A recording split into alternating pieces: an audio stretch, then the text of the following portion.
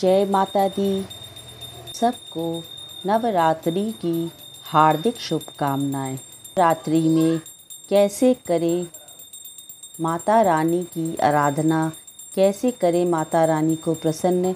और श्री दुर्गा स्तुति के कौन से अध्याय का पाठ किस लिए करना चाहिए? आज हम उसी विषय में चर्चा करेंगे। तो चलिए बात करते हैं। निष्काम भाव से रोज़ाना पढ़ने वाले यह पाठ करें। दुर्गा कवच, मंगला स्रोत, अर्गला स्रोत, कीलक स्रोत, काली, चंडी, लक्ष्मी, संतोषी माता स्रोत, नम्र प्रार्थना, नव दुर्गा स्रोत तथा आरती। हर प्रकार की चिंता हटाने के लिए दुर्गा सप्तशती का प्रथम अध्याय का पाठ करें।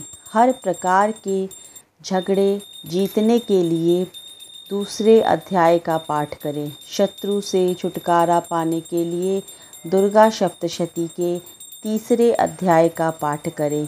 भक्ति शक्ति या भगवती के दर्शन पाने के लिए चौथा व पाँचवें अध्याय का पाठ करें।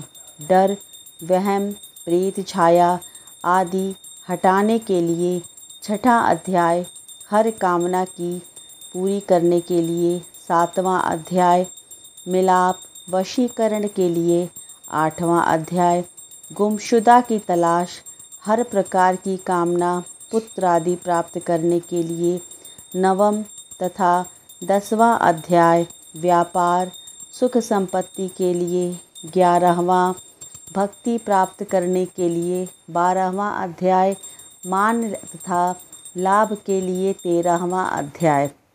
सफ़र पर जाने से पहले दुर्गा कवच श्रद्धा और शुद्ध भावना से पढ़े। धन दौलत कारोबार के लिए चंडी स्रोत, कलह क्लेश चिंता से बचने के लिए महाकाली लक्ष्मी नव दुर्गा स्रोत पढ़िए। पाठ के समय गंगा जल साथ रखें, शुद्ध आसन बिछाकर बैठे, घी का जोत प्रज्वलित करें, धूप दीप जलाएँ, पाठ के बाद चरणामृत पी लें और अपने मस्तक, आँखों और अंगों को स्पर्श करें। मंगलवार को कन्या पूजन अवश्य करें। कन्या, सात वर्ष की आयु से कम होनी चाहिए। तो इस प्रकार से दुर्गा स्तुति के अध्याय का पाठ करिए। आपके जीवन में मंगल ही मंगल होगा। जय माता दी।